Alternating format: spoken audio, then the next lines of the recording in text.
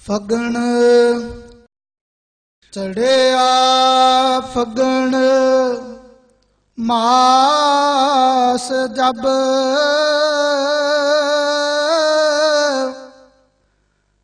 ਫੂਲੀ ਸਭ ਗੁਲਜ਼ਾਰ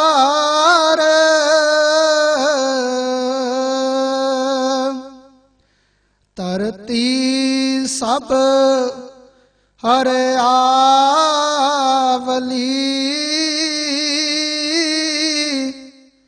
ਸੁੰਦਰ ਬਾਗ ਬਹਾਰ।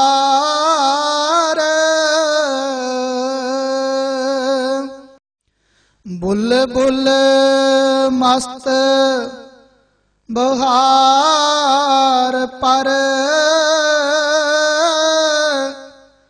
ਪਵਰਾ ਭਈ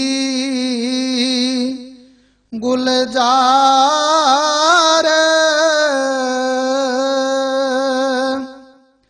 ਨਿਵਣ ਫਲ ਬਹੁ ਬਾਗ ਮੇ।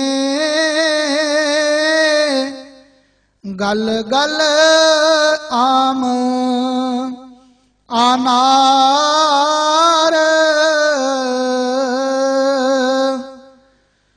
ਗੁਰਮੁਖ ਗੁਰ ਕੀ ਸਰਣ ਗਹਿ।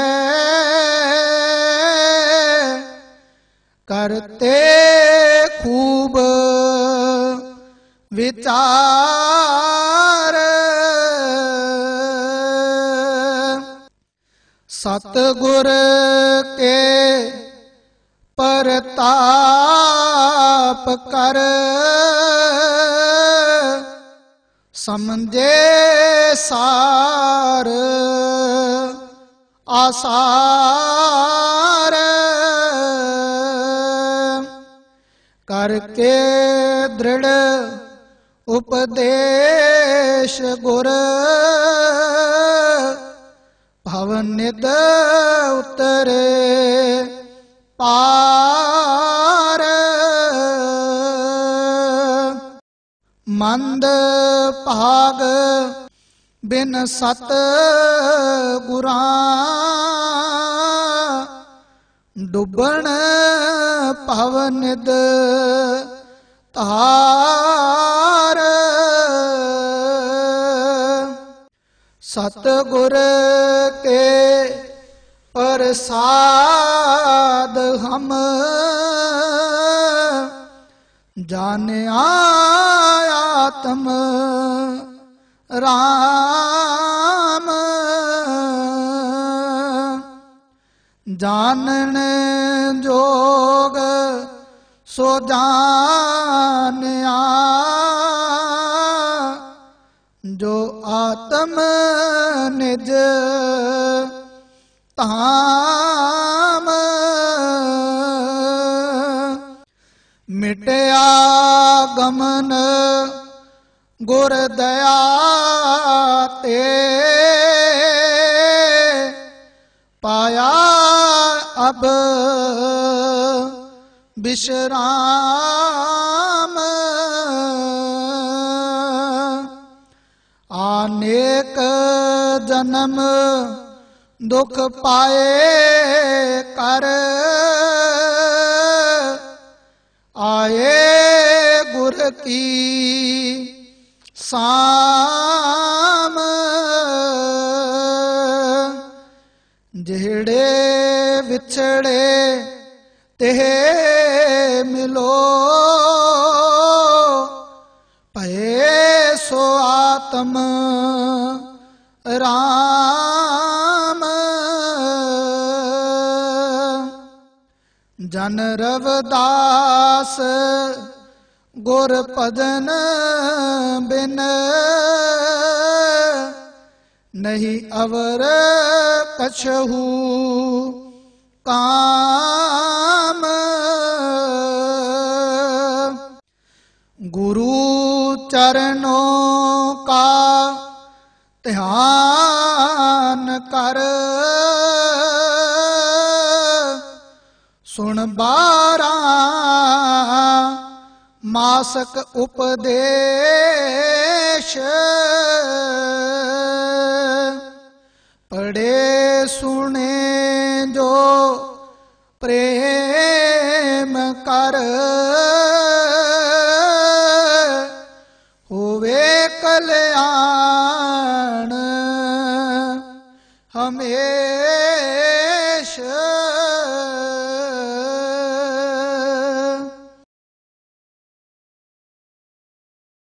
ਚੜਿਆ ਫਾਗਣ ਮਾਸ ਜਬ ਫੂਲੀ ਸਭ ਗੁਲਜ਼ਾਰ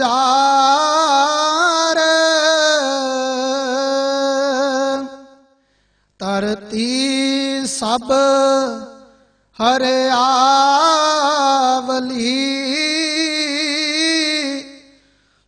ਸੁੰਦਰ ਬਾਗ, ਬਹਾਰ। ਗੁਰੂ ਪ੍ਰਸਾਦ ਸੰਗਤ ਜੀ ਤਨ ਤਨ ਜਗਤ ਗੁਰੂ ਰਵਿਦਾਸ ਜੀ ਮਹਾਰਾਜ, ਫੱਗਣ ਦੇ ਮਹੀਨੇ ਰਾਹੀਂ ਸਭ ਜੀਵਾਂ ਨੂੰ ਪਾਵਨ ਉਪਦੇਸ਼ ਬਖਸ਼ਿਸ਼ ਕਰਦੇ ਹਨ। ਚੜਿਆ ਫੱਗਣ ਮਾਸ ਜਬ ਫੂਲੀ ਸਭ ਗੁਲਜ਼ਾਰ। ਜਿਸ ਸਮੇਂ ਫੱਗਣ ਦਾ ਮਹੀਨਾ ਚੜਦਾ ਹੈ, ਹਰ ਪਾਸੇ ਗੁਲਜ਼ਾਰ ਖਿੜ ਜਾਂਦੀ ਹੈ। ਧਰਤੀ ਸਭ ਹਰਿਆਵਲੀ, ਸੁੰਦਰ ਬਾਗ ਬਹਾਰ ਸਾਰੀ ਧਰਤੀ ਹਰਿਆਵਲੀ ਨਜ਼ਰ ਆਉਂਦੀ ਹੈ ਔਰ ਸਭ ਬਾਗ ਸੁੰਦਰ ਲੱਗਦੇ ਹਨ, ਹਰ ਪਾਸੇ ਬਹਾਰ ਆ ਜਾਂਦੀ ਹੈ। ਇਸੇ ਪ੍ਰਕਾਰ ਜਦੋਂ ਜੀਵ ਇਸ ਮਨੁੱਖ ਜਨਮ ਵਿੱਚ ਗੁਰੂ ਤੋਂ ਸ਼ਬਦ ਲੈ ਕੇ ਉਸ ਤੇ ਕਮਾਈ ਕਰਦਾ ਹੈ, ਆਪਣੇ ਅੰਦਰ ਪਰਦਾ ਖੋਲ ਲੈਂਦਾ ਹੈ, ਤੋ ਮਨੁੱਖ ਜਨਮ ਇਸ ਜੀਵ ਨੂੰ ਬਹੁਤ ਹੀ ਸੁਹਾਵਣਾ ਲੱਗਦਾ ਹੈ। ਹਰ ਪਾਸੇ ਗੁਲਜ਼ਾਰ ਖਿੜੀ ਹੋਈ ਨਜ਼ਰ ਆਉਂਦੀ ਹੈ, ਹਰ ਪਾਸੇ ਉਹ ਪ੍ਰਭੂ ਅਨੁਭਵ ਹੁੰਦਾ ਹੈ, ਔਰ ਘਟ ਘਟ ਵਿੱਚ ਉਸ ਪ੍ਰਭੂ ਦਾ ਅਨੁਭਵ ਹੁੰਦਾ ਹੈ, ਜੀਵ ਆਨੰਦਿਤ ਹੁੰਦਾ ਹੈ। ਬੁੱਲ ਬੁੱਲ ਮਸਤ ਵਹਾਰ ਪਰ ਅਵਰਾ ਭਈ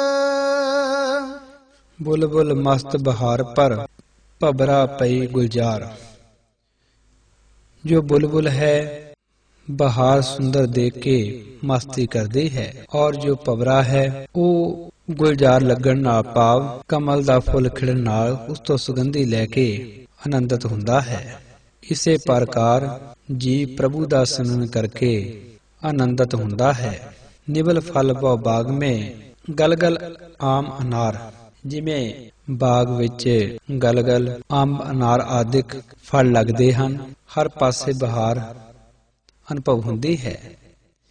ਇਸੇ ਤਰ੍ਹਾਂ ਜੀਵ ਜਿਸ ਵੇਲੇ ਸਿਮਰਨ ਕਰਦਾ ਹੈ ਇਸ ਨੂੰ ਹਰ ਪਾਸੇ ਆਨੰਦ ਹੀ ਆਨੰਦ ਅਨੁਭਵ ਹੁੰਦਾ ਹੈ। ਗੁਰਮੁਖ ਗੁਰ ਕੀ ਸਰਨ ਗਹਿ ਕਰਤੇ ਖੂਬ ਵਿਚਾਰ। ਸਤਗੁਰ ਕੇ ਪਰਤਾਪ ਕਰ। ਸਮਝੇ ਸਾਰ, ਆਸਾਰ। ਗੁਰਮੁਖ ਗੁਰ ਕੀ ਸ਼ਰਨ ਗਹਿ, ਕਰਤੇ ਖੂਬ ਵਿਚਾਰ। ਗੁਰਮੁਖ ਜੀਵ, ਗੁਰੂ ਦੀ ਸ਼ਰਨ ਵਿੱਚ ਬਹਿ ਕੇ ਬ੍ਰਹਮ ਗਿਆਨ ਦੀਆਂ ਵਿਚਾਰਾਂ ਕਰਦੇ ਹਨ। ਸਤਿਗੁਰੂ ਕੇ ਪ੍ਰਤਾਪ ਕਰ ਸਮਝੇ ਸਾਰ ਅਸਾਰ। ਫਿਰੇ ਜੀਵ ਜਦੋਂ ਗੁਰੂ ਦੇ ਚਰਨਾਂ ਵਿੱਚ ਬੈਠ ਕੇ ਬ੍ਰਹਮ ਗਿਆਨ ਦੀ ਵਿਚਾਰ ਕਰਦਾ ਹੈ। ਫਿਰ ਸਤਿਗੁਰ ਦੀ ਕਿਰਪਾ ਨਾਲ ਜੀਵ ਚੰਗੇ ਮਾੜੇ ਦੀ ਇਸ ਨੂੰ ਸੋਝੀ ਆਉਂਦੀ ਹੈ। ਸਤ ਅਸਤ ਦੀ ਸੋਝੀ ਆਉਂਦੀ ਹੈ ਔਰ ਇਸ ਜੀਵ ਦਾ ਲੋਕ ਪਰਲੋਕ ਸਹੇਲਾ ਹੋ ਜਾਂਦਾ ਹੈ। ਕਰਕੇ ਦ੍ਰਿੜ ਉਪਦੇਸ਼ ਗੁਰ ਪਵਨ ਨਿਦ ਉਤਰੇ ਪਾਰ ਮੰਦ ਭਾਗ ਬਿਨ ਸਤ ਗੁਰਾਂ ਡੁੱਬਣ ਭਵ ਨਿਤ ਧਾਰ। ਕਰਕੇ ਦ੍ਰਿੜ ਉਪਦੇਸ਼ ਗੁਰ, ਪਵਨ ਉਤਰੇ ਪਾਰ। ਜਦੋਂ ਇਹ ਜੀਵ ਗੁਰੂ ਦੇ ਨਾਮ ਜਪਣ ਰੂਪੀ ਉਪਦੇਸ਼ ਨੂੰ ਆਪਣੇ ਹਿਰਦੇ ਵਿੱਚ ਦ੍ਰਿੜ ਕਰਕੇ ਧਾਰਨ ਕਰਦਾ ਹੈ ਔਰ ਪ੍ਰਭੂ ਦਾ ਸਿਮਰਨ ਕਰਦਾ ਹੈ, ਇਸ ਸੰਸਾਰ ਦੇ ਭਵ ਸਾਗਰ ਚੋਂ ਪਾਰ ਹੋ ਜਾਂਦਾ ਹੈ। ਮੰਦ ਭਾਗ ਬਿਨ ਸਤਗੁਰਾਂ, ਡੁੱਬਣ ਭਵ ਨਿਦ ਧਾਰ, ਜਿਨ੍ਹਾਂ ਦੇ ਮੰਦ ਭਾਗ ਹਨ, ਉਹ ਸਤਿਗੁਰੂ ਦੀ ਸ਼ਰਨ ਗ੍ਰਹਿਣ ਨਹੀਂ ਕਰਦੇ। ਔਰ ਉਹ ਇਸ ਸੰਸਾਰ ਦੇ ਭਵ ਸਾਗਰ ਵਿੱਚ ਡੁੱਬ ਜਾਂਦੇ ਹਨ। ਪਾਪ ਸਤਿਗੁਰੂ ਦੀ ਸੰਗਤ ਤੋਂ ਬਿਨਾ ਇਹ ਜੀਵ ਦਾ ਪਾਰ ਉਤਾਰਾ ਨਹੀਂ ਹੁੰਦਾ। ਔਰ ਇਹ ਮਨੁੱਖ ਜਨਮ ਨਿਸ਼ਫਲ ਚਲੇ ਜਾਂਦਾ ਹੈ ਸਤ ਗੁਰ ਕੇ ਪ੍ਰਸਾਦ ਹਮ ਜਾਣਿਆ ਆਤਮ ਰਾਮ ਜਾਣਨ ਜੋਗ ਸੋ ਜਾਣਿਆ ਆਤਮ ਨਿਜ ਧਾਮ। ਸਤਿਗੁਰ ਕੇ ਪ੍ਰਸਾਦ ਹਮ ਜਾਣਿਆ ਆਤਮ ਰਾਮ। ਸਤਿਗੁਰਾਂ ਦੀ ਕਿਰਪਾ ਨਾਲ ਇਹ ਜੀਵ ਅੰਦਰ ਬੈਠੇ ਪ੍ਰਭੂ ਨੂੰ ਜਾਣ ਲੈਂਦਾ ਹੈ। ਉਸ ਨੂੰ ਆਪਣੇ ਅੰਦਰ ਅਨੁਭਵ ਕਰ ਲੈਂਦਾ ਹੈ।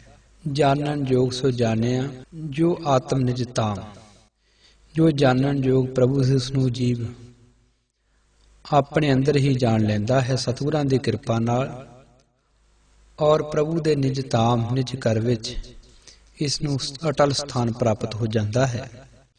ਮਿਟਿਆ ਗਮਨ ਗੁਰ ਦਇਆ ਤੇ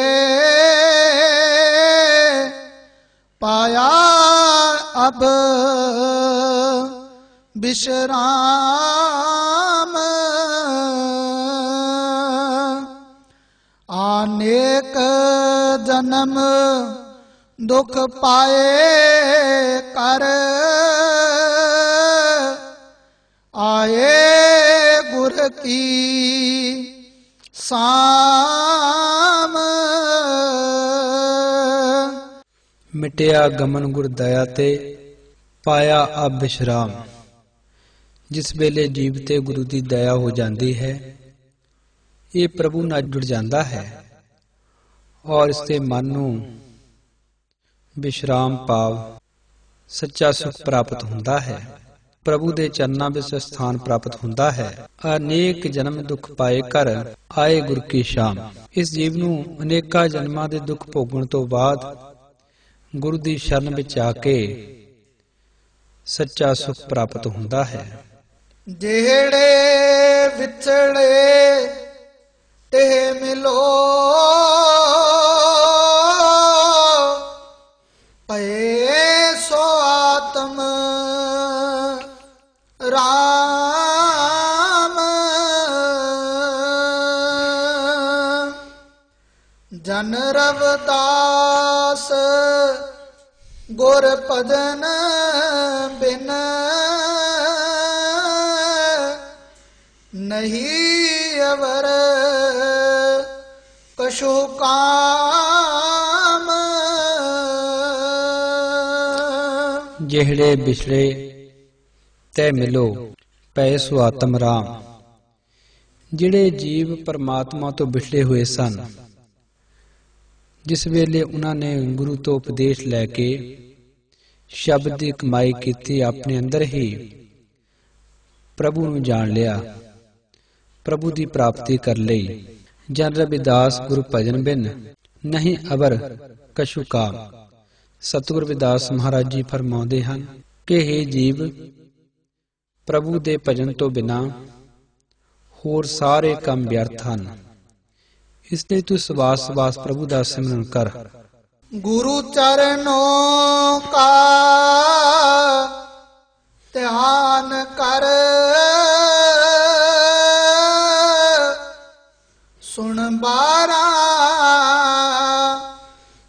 ਮਾਸਕ ਉਪਦੇਸ਼।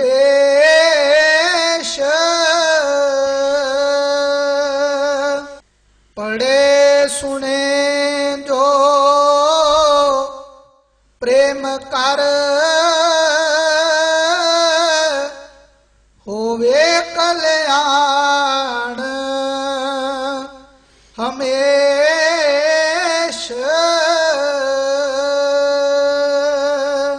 ਗੁਰੂ ਚਰਨੋਂ ਕਾ ਧਿਆਨ ਕਰ। ਸੁਣ ਬਾਰਾ ਮਾਸਕ ਉਪਦੇਸ਼।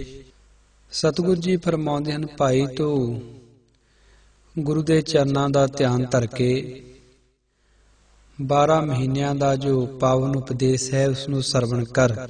ਪੜੇ ਸੁਨੇ ਜੋ ਪ੍ਰੇਮ ਕਰ, ਹੋਵੇ ਕਲਿਆਣ ਹਮੇਸ਼। ਜਿਹੜੇ ਜੀਵ ਇਸ 12 ਮਾਸਕ ਉਪਦੇਸ਼ ਨੂੰ ਪੜਦੇ ਹਨ ਔਰ ਉਸ ਨੂੰ ਸਰਵਣ ਕਰਦੇ ਹਨ ਔਰ ਸਵਾਸ ਸਵਾਸ ਪ੍ਰਭੂ ਦਾ ਸਿਮਰਨ ਕਰਦੇ ਹਨ। ਉਹਨਾਂ ਦੀ ਹਮੇਸ਼ਾ ਹੀ ਕਲਿਆਣ ਹੁੰਦੀ ਹੈ। ਸਤਿਗੁਰ ਵਿਦਾਸ ਮਹਾਰਾਜ ਜੀ, ਫੱਗਣ ਦੇ ਮਹੀਨੇ ਰਾਹੀਂ ਸਭ ਜੀਵਾਂ ਨੂੰ ਪ੍ਰਭੂ ਦਾ ਸਿਮਰਨ ਕਰਕੇ ਆਪਣੇ ਅੰਦਰੋਂ ਬ੍ਰਹਮ ਆਨੰਦ ਪ੍ਰਾਪਤ ਕਰਨ ਦਾ ਪਾਵਨ ਉਪਦੇਸ਼ ਬਖਸ਼ਿਸ਼ ਕਰਦੇ ਹਨ। ਜੈ ਗੁਰਦੇਵ